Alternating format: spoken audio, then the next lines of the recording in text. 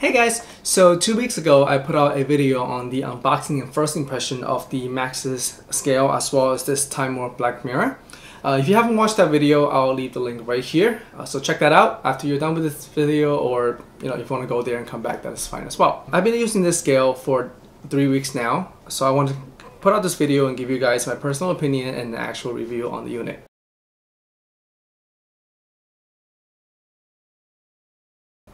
Alright, so right off the bat, I want to let you guys know that I am keeping the scale. Uh, after three, three weeks of using it, I like the scale. I think it's very functional, so, so I'm gonna keep it. Before I go into anything else, I want to give you a couple pros and cons. Well, not so much pros and cons, more the good and the not so great things about the scale. Okay, so first the good. The scale is actually very responsive. Uh, I do like how fast the number, um, I guess the number runs up as you're adding weight and it is also very sleek looking. Uh, like I said in the previous video, if you're looking for a great alternative to the Acaia scale at a fraction of the price, this is a great unit to get. It's also have good functionality. That's something actually I'm going to touch a little bit on that later. But one of the things is that I was looking for a scale that had the function of being weight sensitive. So what that means is, let's say when you're brewing coffee, the timer will automatically start when it senses a change in weight. However, when I was shopping for a scale like that, I don't know why, I couldn't find that functions clearly stated on the Amazon page or on the internet. So I actually had to, um, after I get this unit actually, I read the manual and it actually does say in very, very small print right here on the back that it does have that function. The next thing is that the size of it is actually big enough to hold two espresso cups. So the size of it is pretty good. It could fit underneath the Breville Barista Express. It's although a little bit more awkward. I you know it had it been half an inch shorter, it would have fit perfectly. But this actually you, you could you could you can actually make it work. But the size of it is more designed for either two shot espresso or for a pour over. What I also like about this is that it have the rechargeable battery. The battery actually lasts a very long time. I've been using it for three weeks and it's still showing as full. I believe they advertise for about 7 hours of on time uh, while on fully charged battery. And also, the black one definitely looks tons and tons better than the white one that I got the first time. I don't know if you guys remember, you couldn't really make out the number. It's not really just the lighting. I know that, you know, with uh, with, with the direct lighting, sometimes it might appear even fainter on camera, but trust me, even in person, it looked very, very vague. Alright, so a couple of things that I believe have room for improvement is number one, the material is actually very plasticky. I know in pictures some people might think that this is metal. I, I was one of them. I actually thought that this might be metal because it's very hard to tell. But this is actually very plasticky um, feeling person. It's not light though by any means. It does feel good in the hand, but when you touch it, it's definitely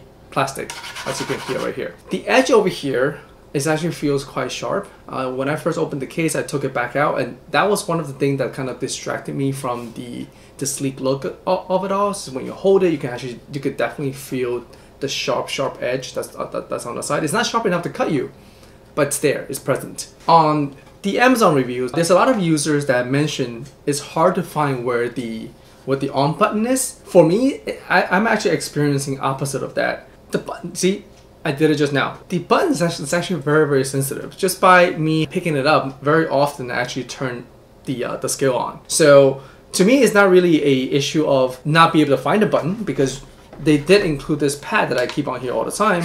And it's pretty easy to tell it's going, going to be on the bottom right corner. However, is that sometimes it's I, I, I, guess it's the placement of it or the sensitivity of it. When I pick it up, it's on, right? I, keep turning it on, but by accident. Again, it's not a big issue, but it, it is there. Okay, so I want to go over a couple functionalities, uh, actually a couple features of this scale. So number one, the feature that I was looking for on a replacement scale, I guess on an alternative scale that's not the Acaia, is the weight sensitive auto start function. I want to show you guys how to do that here. When you first take it out of the box, the function is actually turned off. If you see on the back of the scale here, it does tell you to press the timer key until you hear the beep sound and vice versa to turn on and off the auto timing mode. So what they mean by that is if you were to just repeatedly press the, the timer button until you hear that long beep and you will see that the A symbols that shows up on the screen, that's when you know the auto timer uh, function is on. Okay, so let me just show you what that actually, what that function actually do. So when you have the A on, and you press the timer button, it's going to have a countdown of 3, 2, 1. After the countdown, the unit will be ready. It's constantly detecting any changes in weight. So as soon as I put some weight in it, you see the timer actually start. So this is useful if you want to uh, make some pour over or if you are doing uh, if you are trying to time your shots. This way you can actually have the have the timer start at the precise moment when the liquid enters the um, uh, mixes with the coffee without having to press the timer button. So on the internet, I've also seen some people mention that they don't like the sound that the, that the scale makes. To me, it's perfectly fine. But if you don't want to hear the sound, it's actually very simple to turn off. Again, you will go back to the time the timer button. You will simply hold it.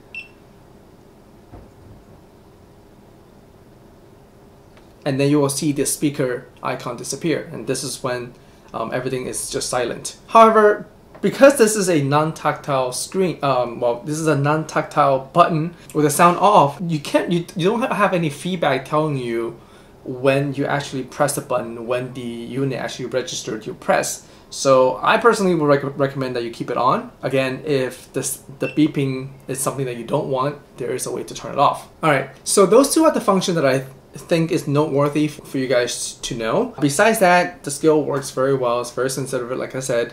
Um, it works well for most of the of the function that, that you do need it for. Um, so I'm happy with this purchase. I'm going to keep it in black. I have already returned the white. The last thing I'm going to touch on is actually the price of it. Uh, this scale as time of writing is around 65 to $70 if you're on a budget or you think that you don't want to, you know, or if you feel that you don't want to spend that much money on a scale, the Maxus that I showed you guys last time was a surprisingly good scale to use. I am going to make a separate re review video for that. So again, I'm going to leave it in the description down below as well as up here for you guys to check out. So for anybody who don't want to spend that much money on a scale, that scale actually works extremely, extremely well. I do recommend you guys checking it out. Alright, so uh, hopefully this video helped you guys make a decision on whether or not the Timemore Black Mirror is for you. As always, subscribe to the channel if you haven't already, drop a like on this video, and of course, leave any of your questions or concerns in the comment section down below. And until next video, I'll see you next time.